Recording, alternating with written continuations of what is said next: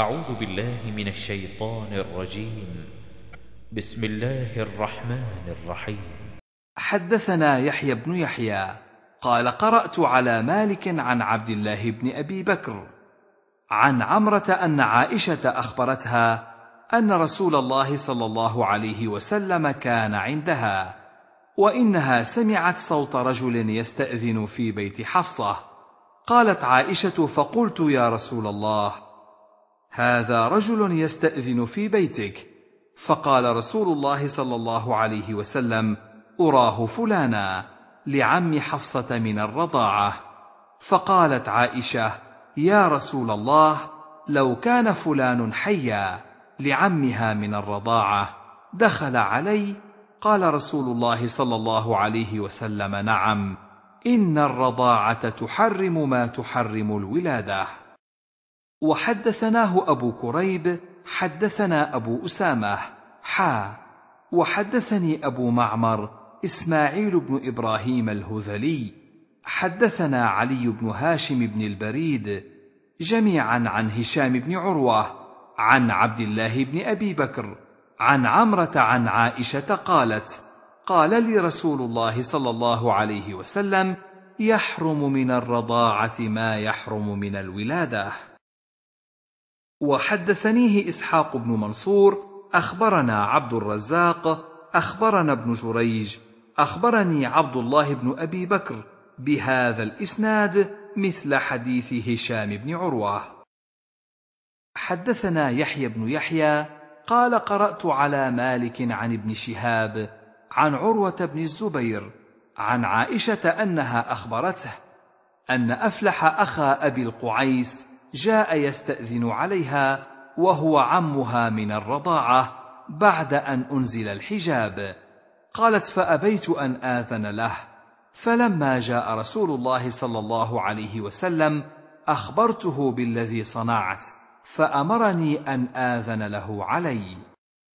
وحدثناه أبو بكر بن أبي شيبة حدثنا سفيان بن عيينة عن الزهري عن عروة عن عائشة قالت أتاني عمي من الرضاعة أفلح بن أبي قعيس فذكر بمعنى حديث مالك وزاد قلت إنما أرضعتني المرأة ولم يرضعني الرجل قال تربت يداك أو يمينك. وحدثني حرملة بن يحيى حدثنا ابن وهب أخبرني يونس عن ابن شهاب عن عروة أن عائشة أخبرته. أنه جاء أفلح أخو أبي القعيس يستأذن عليها بعدما نزل الحجاب. وكان أبو القعيس أبا عائشة من الرضاعة. قالت عائشة فقلت والله لا آذن لأفلح حتى أستأذن رسول الله صلى الله عليه وسلم فإن أبا القعيس ليس هو أرضعني ولكن أرضعتني امرأته. قالت عائشة فلما دخل رسول الله صلى الله عليه وسلم قلت يا رسول الله إن أفلح أخا أبي القعيس جاءني يستأذن علي فكرهت أن آذن له حتى أستأذنك. قالت فقال النبي صلى الله عليه وسلم أذني له. قال عروة فبذلك كانت عائشة تقول حرموا من الرضاعة ما تحرمون من النسب. وحدثناه عبد بن حميد أخبرنا عبد الرزاق أخبرنا معمر عن الزهري بهذا الإسناد. جاء أفلح أخو أبي القعيس يستأذن عليها بنحو حديثهم وفيه فإنه عمك تربت يمينك. وكان أبو القعيس زوج المرأة التي أرضعت عائشة. وحدثنا أبو بكر بن أبي شيبة وأبو كريب. قال حدثنا ابن نمير عن هشام عن أبيه عن عائشة قالت جاء عمي من الرضاعة يستأذن علي فأبيت أن آذن له حتى أستأمر رسول الله صلى الله عليه وسلم. فلما جاء رسول الله صلى الله عليه وسلم قلت إن عمي من الرضاعة استأذن علي فأبيت أن آذن له. فقال رسول الله صلى الله عليه وسلم فليلج عليك عمك. قلت إنما أرضعتني المرأة ولم يرضعني الرجل. قال إنه عمك فليلج عليك. وحدثني أبو الربيع الزهراني حدثنا حماد يعني بن زيد حدثنا هشام بهذا الإسناد أن أخا أبي القعيس استأذن عليها فذكر نحوه. وحدثنا يحيى بن يحيى أخبرنا أبو معاوية عن هشام بهذا الإسناد نحوه غير أنه قال استأذن عليها أبو القعيس وحدثني الحسن بن علي الحلواني ومحمد بن رافع. قال أخبرنا عبد الرزاق أخبرنا ابن جريج عن عطاء أخبرني عروة بن الزبير أن عائشة أخبرته قالت استأذن علي عمي من الرضاعة أبو الجعد فرددته. قال لي هشام إنما هو أبو القعيس. فلما جاء النبي صلى الله عليه وسلم أخبرته بذلك. قال فهلا أذنت له؟ تربت يمينك أو يدك.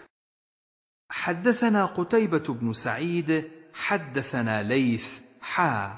وحدثنا محمد بن رمح أخبرنا الليث عن يزيد بن أبي حبيب عن عراك عن عروة عن عائشة أنها أخبرته أن عمها من الرضاعة يسمى أفلح استأذن عليها فحجبته فأخبرت رسول الله صلى الله عليه وسلم فقال لها لا تحتجبي منه فإنه يحرم من الرضاعة ما يحرم من النسب.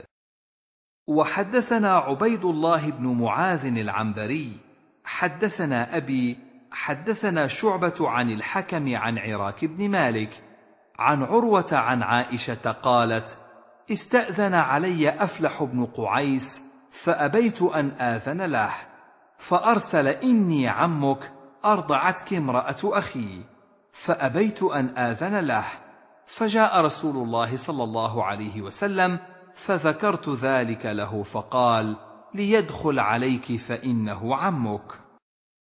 حدثنا أبو بكر بن أبي شيبة وزهير بن حرب ومحمد بن العلاء واللفظ لأبي بكر. قالوا حدثنا أبو معاوية عن الأعمش عن سعد بن عبيدة عن أبي عبد الرحمن عن علي. قال قلت يا رسول الله ما لك تنوق في قريش وتدعنا؟ فقال وعندكم شيء؟ قلت نعم بنت حمزة. فقال رسول الله صلى الله عليه وسلم إنها لا تحل لي إنها ابنة أخي من الرضاعة. وحدثنا عثمان بن أبي شيبة وإسحاق بن إبراهيم عن جرير. حا. وحدثنا ابن نمير حدثنا أبي. حا. وحدثنا محمد بن أبي بكر المقدمي حدثنا عبد الرحمن بن مهدي عن سفيان كلهم عن الأعمش بهذا الإسناد مثله. وحدثنا هداب بن خالد حدثنا همام حدثنا قتادة عن جابر بن زيد عن ابن عباس أن النبي صلى الله عليه وسلم أريد على ابنة حمزة فقال إنها لا تحل لي. إنها ابنة أخي من الرضاعة ويحرم من الرضاعة ما يحرم من الرحم. وحدثناه زهير بن حرب حدثنا يحيى وهو القطان حا. وحدثنا محمد بن يحيى بن مهران القطعي. حدثنا بشر بن عمر جميعا عن شعبة حا.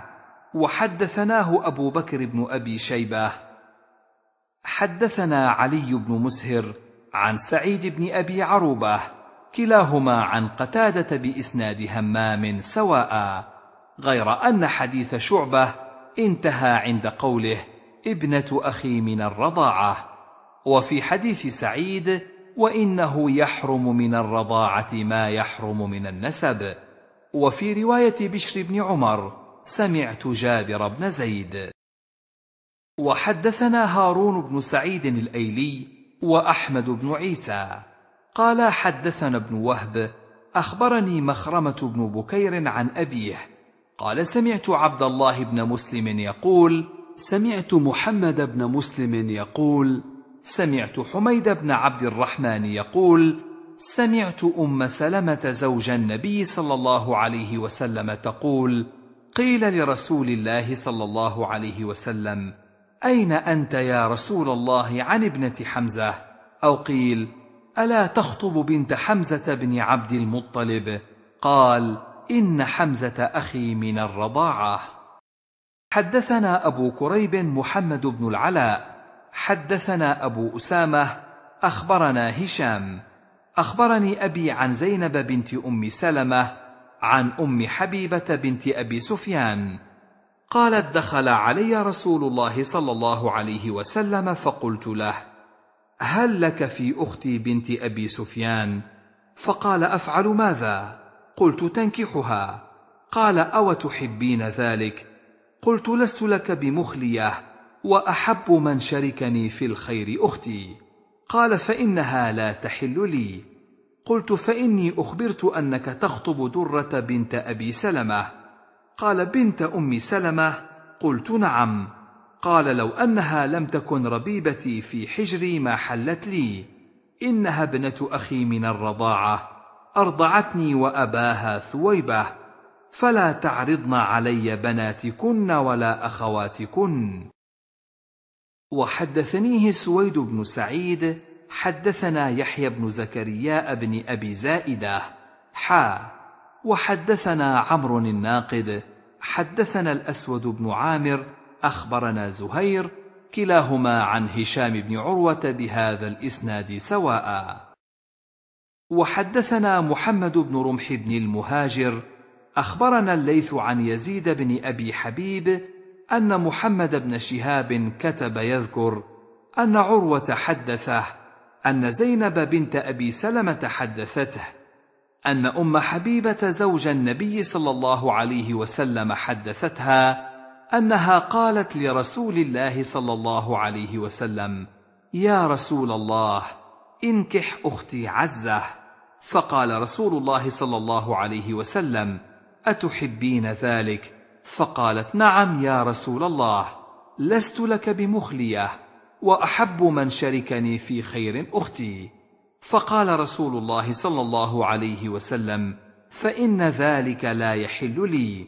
قالت فقلت يا رسول الله فإنا نتحدث أنك تريد أن تنكح درة بنت أبي سلمة.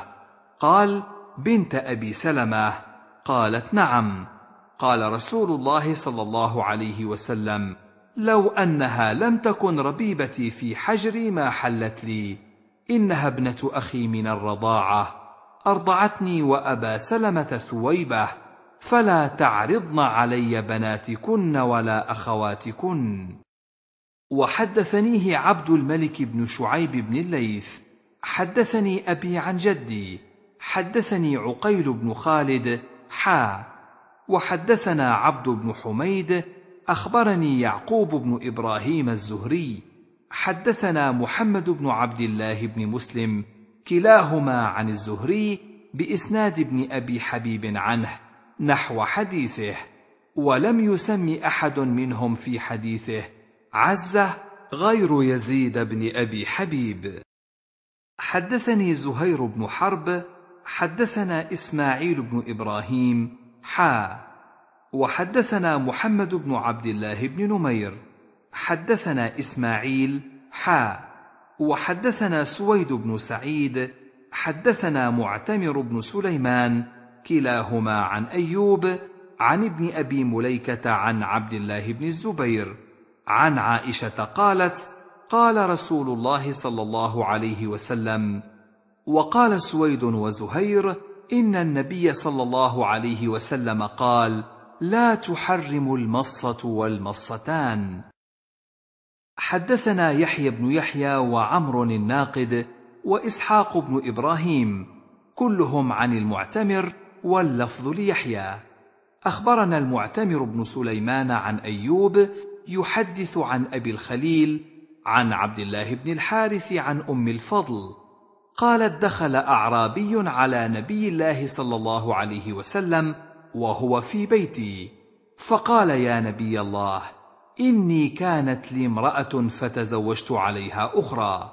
فزعمت امرأتي الأولى أنها أرضعت امرأتي الحدثى رضعة أو رضعتين. فقال نبي الله صلى الله عليه وسلم لا تحرم الإملاجة والإملاجتان. قال عمرو في روايته عن عبد الله بن الحارث بن نوفل.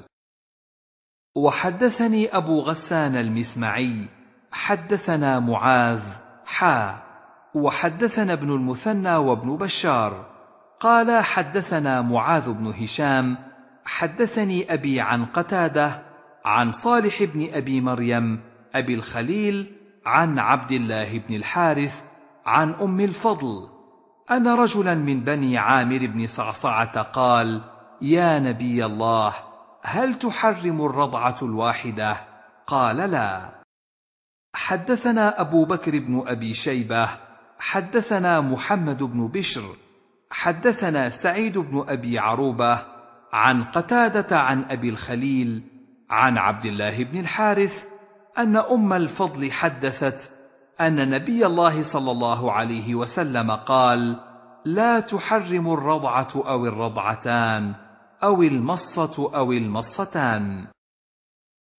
وحدثناه أبو بكر بن أبي شيبة وإسحاق بن إبراهيم جميعا عن عبدة بن سليمان عن ابن أبي عروبة بهذا الإسناد. أما إسحاق فقال كرواية ابن بشر أو الرضعتان أو المصتان. وأما ابن أبي شيبة فقال والرضعتان والمصتان.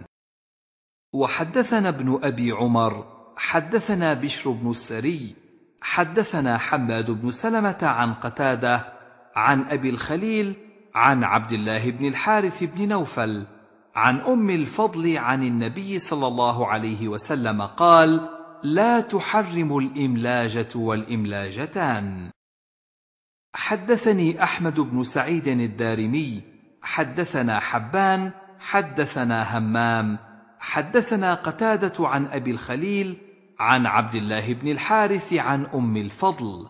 سأل رجل النبي صلى الله عليه وسلم أتحرم المصه فقال لا. حدثنا يحيى بن يحيى قال قرأت على مالك عن عبد الله بن أبي بكر عن عمرة عن عائشة أنها قالت كان فيما أنزل من القرآن عشر رضعات معلومات يحرمن ثم نسخن بخمس معلومات. فتوفي رسول الله صلى الله عليه وسلم وهن فيما يقرأ من القرآن. حدثنا عبد الله بن مسلمة القعنبي. حدثنا سليمان بن بلال عن يحيى وهو ابن سعيد. عن عمرة أنها سمعت عائشة تقول وهي تذكر الذي يحرم من الرضاعة قالت عمرة فقالت عائشة نزل في القرآن عشر رضعات معلومات ثم نزل أيضا خمس معلومات. وحدثناه محمد بن المثنى حدثنا عبد الوهاب قال سمعت يحيى بن سعيد قال أخبرتني عمرة أنها سمعت عائشة تقول بمثله. حدثنا عمرو الناقد وابن أبي عمر.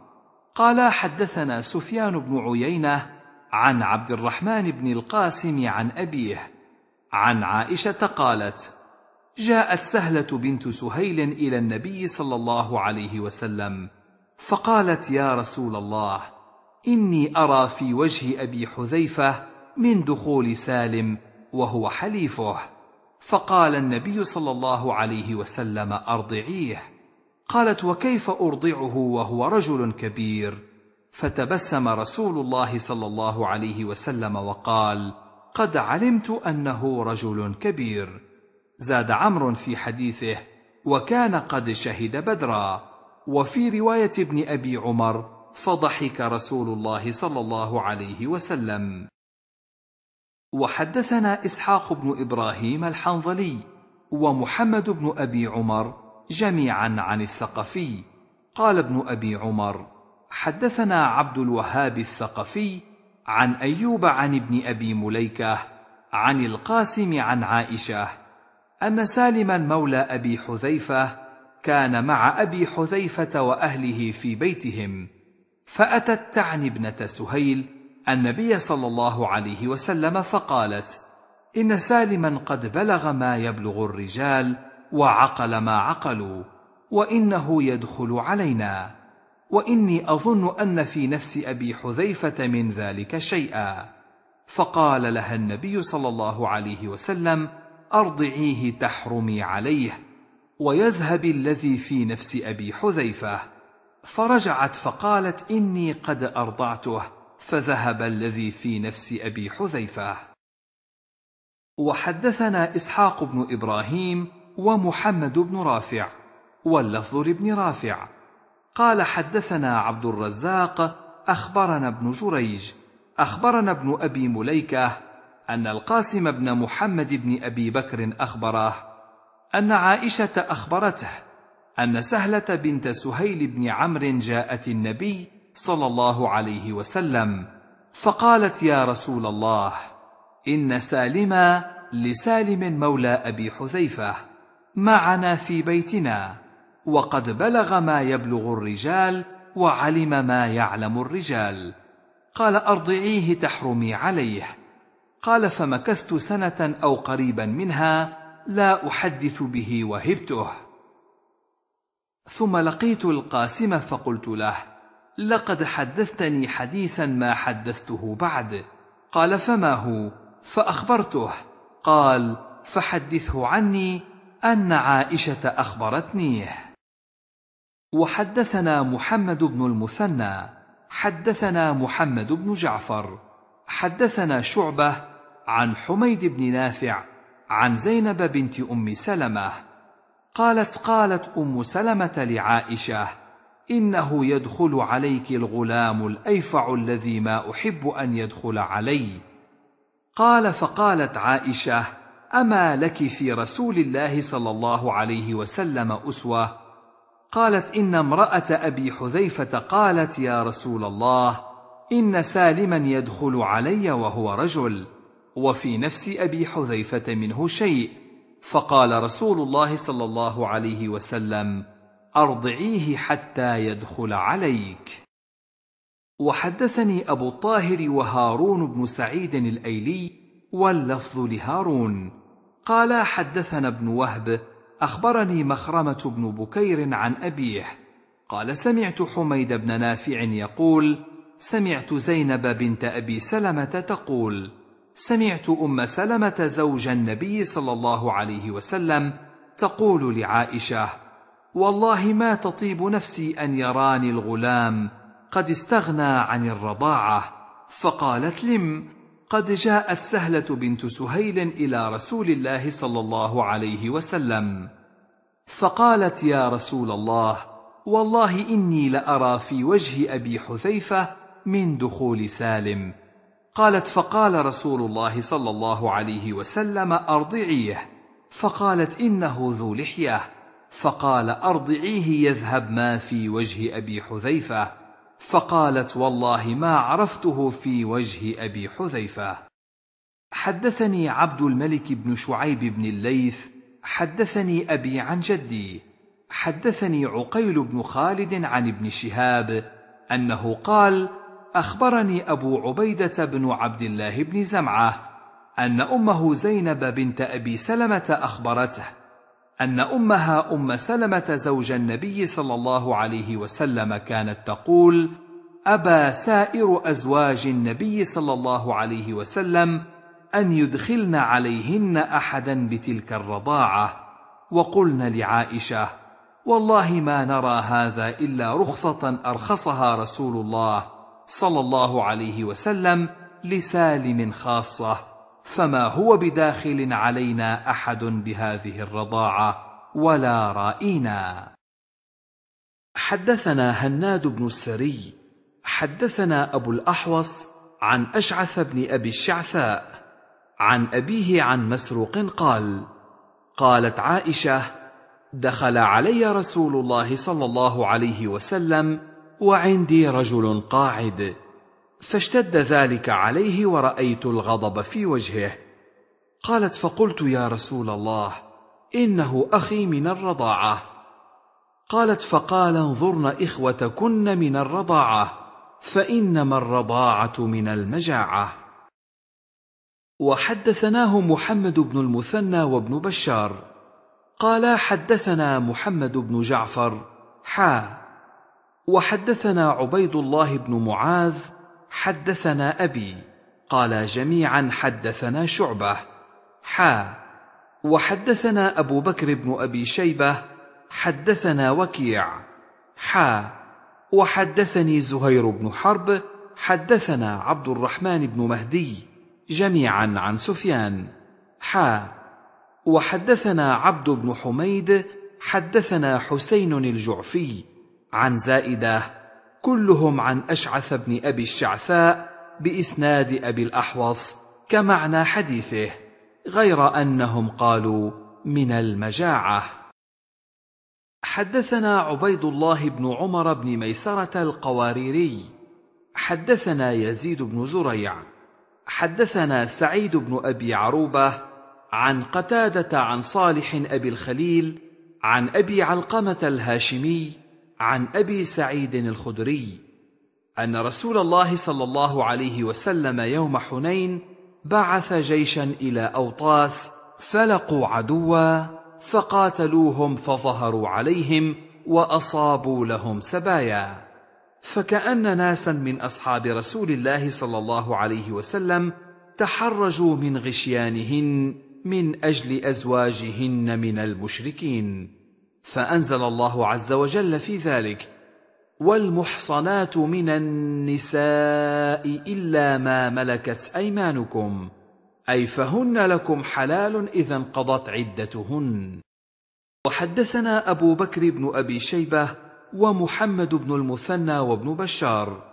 قالوا حدثنا عبد الأعلى عن سعيد عن قتادة عن أبي الخليل أن أبا علقمة الهاشمي حدث أن أبا سعيد الخدري حدثهم أن نبي الله صلى الله عليه وسلم بعث يوم حنين سرية بمعنى حديث يزيد بن زريع غير أنه قال إلا ما ملكت أيمانكم منهن فحلال لكم ولم يذكر إذا انقضت عدتهن. وحدثنيه يحيى بن حبيب الحارثي حدثنا خالد يعني بن الحارث حدثنا شعبة عن قتادة بهذا الإسناد نحوه. وحدثنيه يحيى بن حبيب الحارثي حدثنا خالد بن الحارث حدثنا شعبة عن قتادة عن أبي الخليل. عن أبي سعيد قال أصابوا سبيا يوم أوطاس لهن أزواج فتخوفوا فأنزلت هذه الآية. والمحصنات من النساء إلا ما ملكت أيمانكم. وحدثني يحيى بن حبيب حدثنا خالد يعني ابن الحارث حدثنا سعيد عن قتادة بهذا الإسناد نحوه. حدثنا قتيبة بن سعيد حدثنا ليث حا وحدثنا محمد بن رمح أخبرنا الليث عن ابن شهاب عن عروة عن عائشة أنها قالت اختصم سعد بن أبي وقاص وعبد بن زمعة في غلام فقال سعد هذا يا رسول الله ابن أخي عتبة بن أبي وقاص عهد إلي أنه ابنه انظر إلى شبهه وقال عبد بن زمعة هذا أخي يا رسول الله ولد على فراش أبي من وليدته فنظر رسول الله صلى الله عليه وسلم إلى شبهه فرأى شبها بينا بعتبة فقال هو لك يا عبد الولد للفراش وللعاهر الحجر واحتجبي منه يا سودة بنت زمعة. قالت فلم ير سودة قط ولم يذكر محمد بن رمح قوله يا عبد. حدثنا سعيد بن منصور وأبو بكر بن أبي شيبة وعمر الناقد. قالوا حدثنا سفيان بن عيينة حا وحدثنا عبد بن حميد أخبرنا عبد الرزاق أخبرنا معمر كلاهما عن الزهري بهذا الإسناد نحوه. غير أن معمرا وابن عيينة في حديثهما الولد للفراش ولم يذكرا وللعاهر الحجر. وحدثني محمد بن رافع وعبد بن حميد. قال ابن رافع حدثنا عبد الرزاق أخبرنا معمر عن الزهري عن ابن المسيب وأبي سلمة عن أبي هريرة أن رسول الله صلى الله عليه وسلم قال الولد للفراش وللعاهر الحجر. وحدثنا سعيد بن منصور وزهير بن حرب. وعبد الأعلى بن حماد وعمر الناقد. قالوا حدثنا سفيان عن الزهري. أما ابن منصور فقال عن سعيد عن أبي هريرة. وأما عبد الأعلى فقال عن أبي سلمة أو عن سعيد عن أبي هريرة. وقال زهير عن سعيد أو عن أبي سلمة أحدهما أو كلاهما عن أبي هريرة. وقال عمرو حدثنا سفيان مرة عن الزهري عن سعيد وأبي سلمة ومرة عن سعيد أو أبي سلمة ومرة عن سعيد عن أبي هريرة عن النبي صلى الله عليه وسلم بمثل حديث معمر.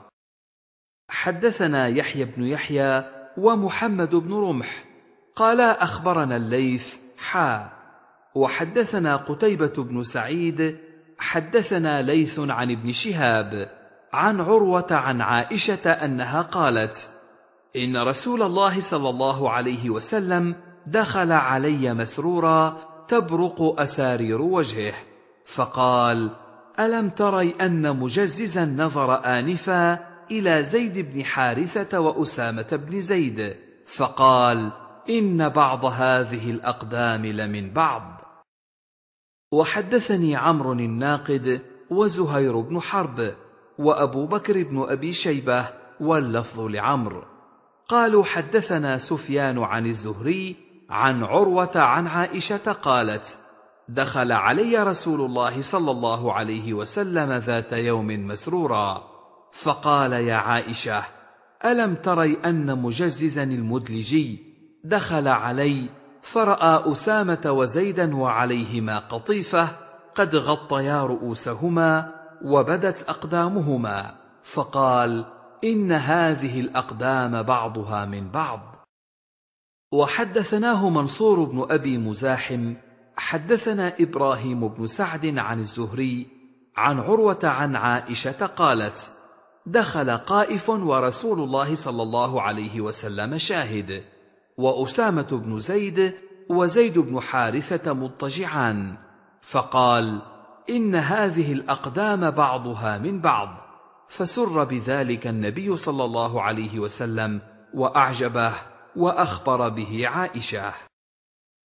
وحدثني حرملة بن يحيى أخبرنا ابن وهب أخبرني يونس حا. وحدثنا عبد بن حميد أخبرنا عبد الرزاق أخبرنا معمر وابن جريج كلهم عن الزهري بهذا الإسناد بمعنى حديثهم وزاد في حديث يونس وكان مجزز قائفا حدثنا أبو بكر بن أبي شيبة ومحمد بن حاتم ويعقوب بن إبراهيم واللفظ لأبي بكر. قالوا حدثنا يحيى بن سعيد عن سفيان عن محمد بن أبي بكر عن عبد الملك بن أبي بكر بن عبد الرحمن بن الحارث بن هشام عن أبيه عن أم سلمة أن رسول الله صلى الله عليه وسلم لما تزوج أم سلمة أقام عندها ثلاثا وقال إنه ليس بك على أهلك هوان إن شئت سبعت لك وإن سبعت لك سبعت لنسائي. حدثنا يحيى بن يحيى قال قرأت على مالك عن عبد الله بن أبي بكر عن عبد الملك بن أبي بكر بن عبد الرحمن أن رسول الله صلى الله عليه وسلم حين تزوج أم سلمة وأصبحت عنده قال لها ليس بك على أهلك هوان إن شئت سبعت عندك وإن شئت ثلثت ثم درت قالت ثلث. وحدثنا عبد الله بن مسلمة القعنبي حدثنا سليمان يعني بن بلال عن عبد الرحمن بن حميد عن عبد الملك بن أبي بكر عن أبي بكر بن عبد الرحمن أن رسول الله صلى الله عليه وسلم حين تزوج أم سلمة فدخل عليها فأراد أن يخرج أخذت بثوبه فقال رسول الله صلى الله عليه وسلم إن شئت زدتك وحاسبتك به للبكر سبع وللثيب ثلاث. وحدثنا يحيى بن يحيى أخبرنا أبو ضمرة عن عبد الرحمن بن حميد بهذا الإسناد مثله. حدثني أبو كريب محمد بن العلاء حدثنا حفص يعني بن غياث عن عبد الواحد بن أيمن عن أبي بكر بن عبد الرحمن بن الحارث بن هشام عن أم سلمة ذكر أن رسول الله صلى الله عليه وسلم تزوجها وذكر أشياء هذا فيه. قال إن شئت أن أسبع لك وأسبع لنسائي وإن سبعت لك سبعت لنسائي. حدثنا يحيى بن يحيى أخبرنا هشيم عن خالد عن أبي قلابة عن أنس بن مالك قال إذا تزوج البكر على الثيب أقام عندها سبعا وإذا تزوج الثيب على البكر أقام عندها ثلاثا. قال خالد ولو قلت إنه رفعه لصدقت ولكنه قال السنة كذلك.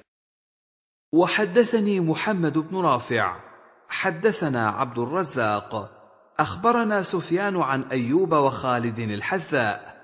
عن أبي قلابة عن أنس قال من السنة أن يقيم عند البكر سبعا. قال خالد ولو شئت قلت رفعه إلى النبي صلى الله عليه وسلم. حدثنا أبو بكر بن أبي شيبة حدثنا شبابة بن سوار حدثنا سليمان بن المغيرة عن ثابت عن أنس قال كان للنبي صلى الله عليه وسلم تسع نسوة.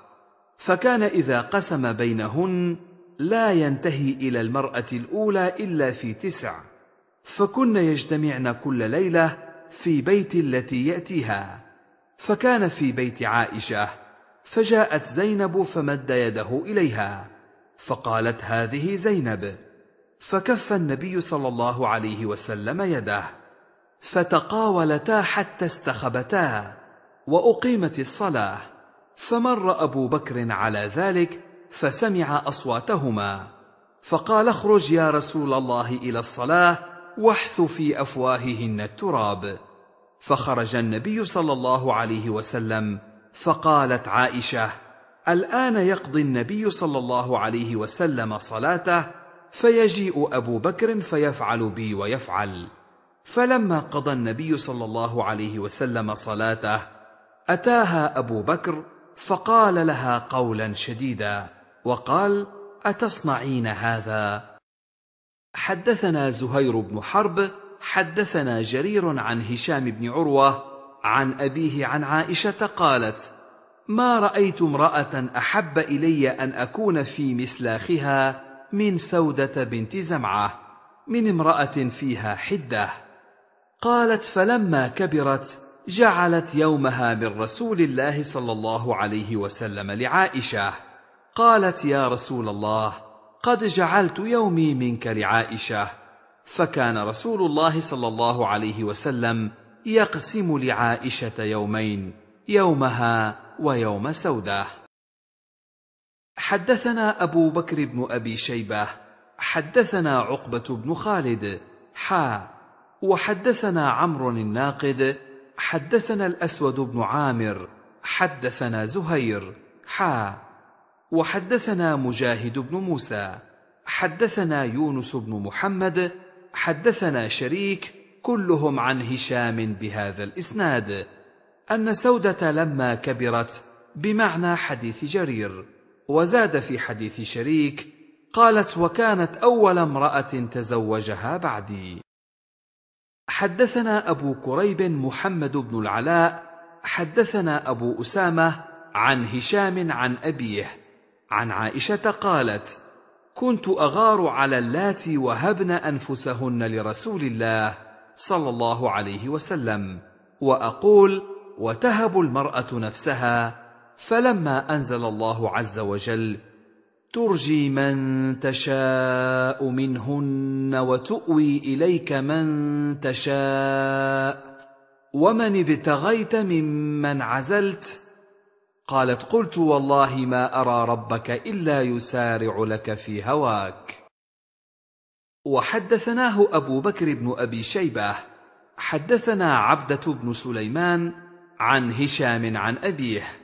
عن عائشة أنها كانت تقول اما تستحي امراه تهب نفسها لرجل حتى انزل الله عز وجل.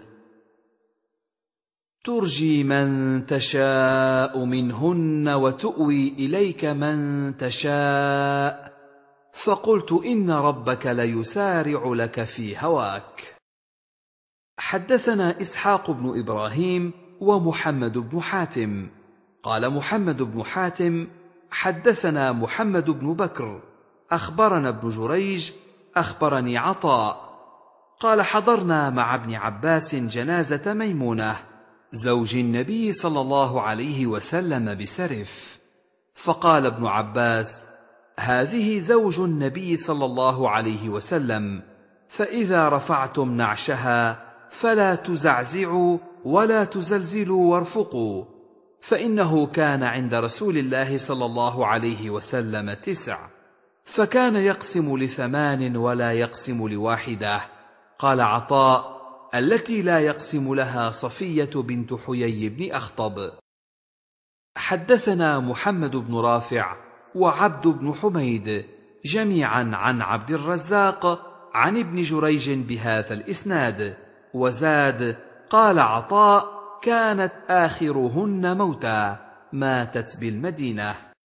حدثنا زهير بن حرب ومحمد بن المثنى وعبيد الله بن سعيد قالوا حدثنا يحيى بن سعيد عن عبيد الله أخبرني سعيد بن أبي سعيد عن أبيه عن أبي هريرة عن النبي صلى الله عليه وسلم قال تنكح المرأة لأربع لمالها ولحسبها ولجمالها ولدينها فاظفر بذات الدين تربت يداك. وحدثنا محمد بن عبد الله بن نمير حدثنا أبي حدثنا عبد الملك بن أبي سليمان عن عطاء أخبرني جابر بن عبد الله قال تزوجت امرأة في عهد رسول الله صلى الله عليه وسلم فلقيت النبي صلى الله عليه وسلم فقال يا جابر تزوجت؟ قلت نعم. قال بكر أم ثيب؟ قلت ثيب. قال فهلا بكرا تلاعبها. قلت يا رسول الله إن لي أخوات فخشيت أن تدخل بيني وبينهن. قال فذاك إذن.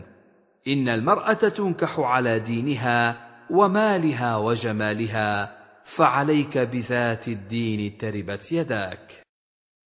حدثنا عبيد الله بن معاذ حدثنا أبي حدثنا شعبة عن محارب عن جابر بن عبد الله قال تزوجت امرأة فقال لي رسول الله صلى الله عليه وسلم هل تزوجت؟ قلت نعم. قال أبكرا أم ثيبا؟ قلت ثيبا. قال فأين أنت من العذارى ولعابها؟ قال شعبة فذكرته لعمرو بن دينار فقال قد سمعته من جابر وإنما قال فهلا جارية تلاعبها وتلاعبك؟ حدثنا يحيى بن يحيى وأبو الربيع الزهراني. قال يحيى أخبرنا حماد بن زيد عن عمرو بن دينار عن جابر بن عبد الله أن عبد الله هلك وترك تسع بنات أو قال سبع فتزوجت امرأة ثيبا فقال لي رسول الله صلى الله عليه وسلم يا جابر تزوجت؟ قال قلت نعم. قال فبكر أم ثيب؟ قال قلت بل ثيب يا رسول الله. قال فهلا جارية تلاعبها وتلاعبك؟ أو قال تضاحكها وتضاحكك؟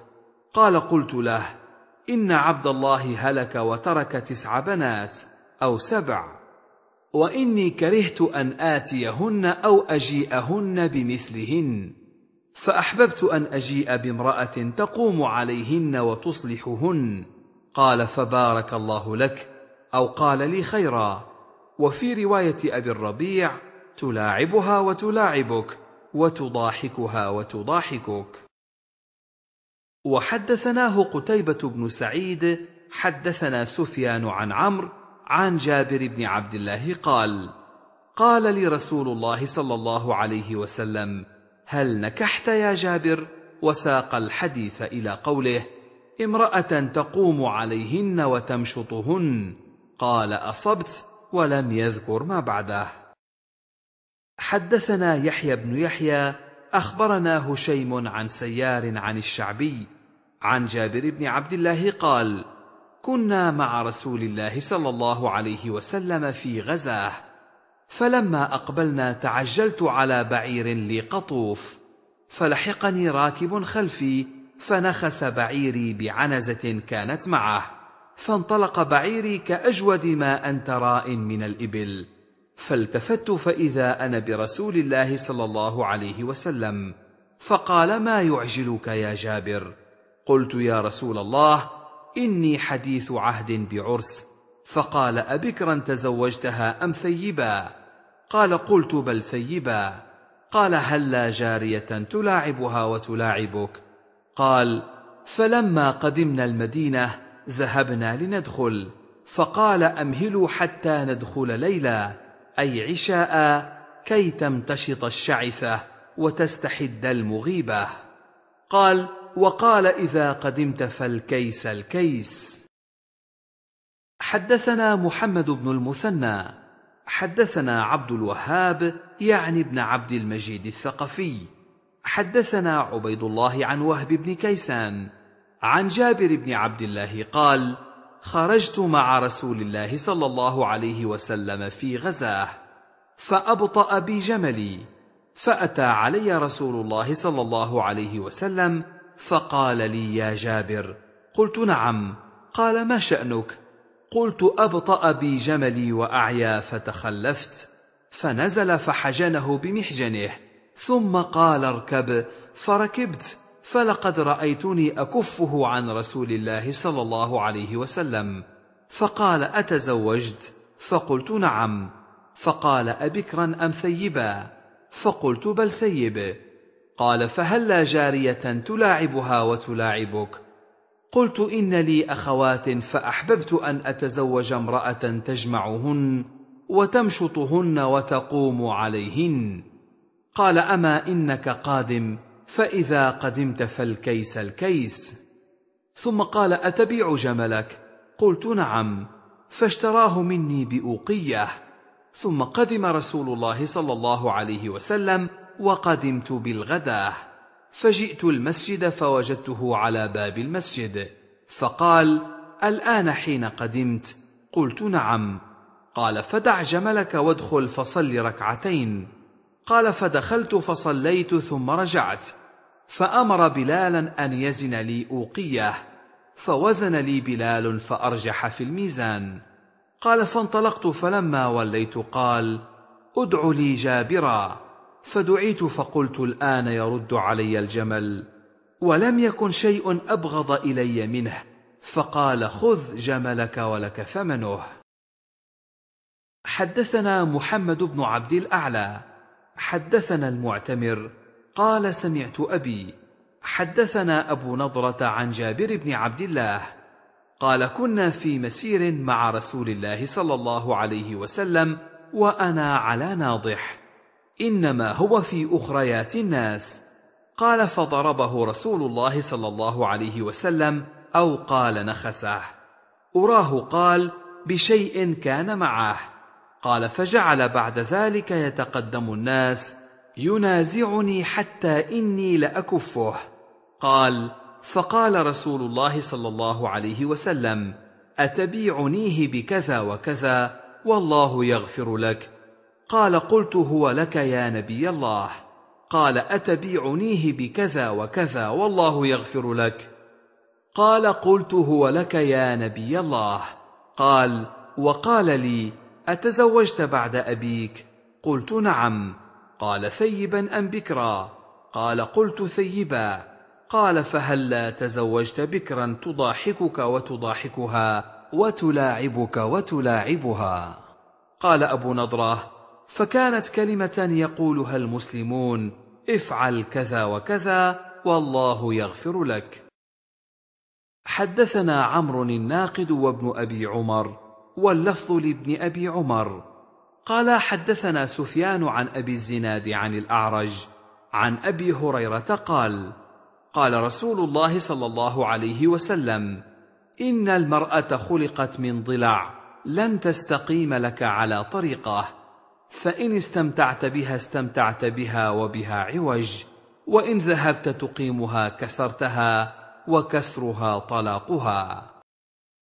وحدثنا أبو بكر بن أبي شيبة حدثنا حسين بن علي عن زائدة عن ميسرة عن أبي حازم عن أبي هريرة عن النبي صلى الله عليه وسلم قال من كان يؤمن بالله واليوم الآخر فإذا شهد امرا فليتكلم بخير أو ليسكت واستوصوا بالنساء فإن المرأة خلقت من ضلع وإن أعوج شيء في الضلع أعلاه. إن ذهبت تقيمه كسرته وإن تركته لم يزل أعوج استوصوا بالنساء خيرا. وحدثني إبراهيم بن موسى الرازي حدثنا عيسى يعني ابن يونس حدثنا عبد الحميد بن جعفر عن عمران بن أبي أنس عن عمر بن الحكم عن أبي هريرة قال قال رسول الله صلى الله عليه وسلم لا يفرك مؤمن مؤمنة إن كره منها خلقا رضي منها آخر أو قال غيره. وحدثنا محمد بن المثنى حدثنا أبو عاصم حدثنا عبد الحميد بن جعفر حدثنا عمران بن أبي أنس عن عمر بن الحكم عن أبي هريرة عن النبي صلى الله عليه وسلم بمثله. حدثنا هارون بن معروف حدثنا عبد الله بن وهب أخبرني عمرو بن الحارث أن أبا يونس مولى أبي هريرة حدثه عن أبي هريرة عن رسول الله صلى الله عليه وسلم قال لولا حواء لم تخن أنثى زوجها الدهر. وحدثنا محمد بن رافع حدثنا عبد الرزاق أخبرنا معمر عن همام بن منبه قال هذا ما حدثنا أبو هريرة عن رسول الله صلى الله عليه وسلم فذكر أحاديث منها. وقال رسول الله صلى الله عليه وسلم لولا بنو إسرائيل لم يخبث الطعام ولم يخنز اللحم ولولا حواء لم تخن أنثى زوجها الدهر. حدثني محمد بن عبد الله بن نمير الهمداني حدثنا عبد الله بن يزيد حدثنا حيوة أخبرني شرحبيل بن شريك أنه سمع أبا عبد الرحمن الحبلي يحدث عن عبد الله بن عمرو أن رسول الله صلى الله عليه وسلم قال الدنيا متاع وخير متاع الدنيا المرأة الصالحة. وحدثني حرملة بن يحيى أخبرنا ابن وهب أخبرني يونس عن ابن شهاب. حدثني ابن المسيب عن أبي هريرة قال قال رسول الله صلى الله عليه وسلم إن المرأة كالضلع إذا ذهبت تقيمها كسرتها وإن تركتها استمتعت بها وفيها عوج. وحدثنيه زهير بن حرب وعبد بن حميد كلاهما عن يعقوب بن إبراهيم بن سعد عن ابن أخي الزهري عن عمه بهذا الإسناد مثله سواء.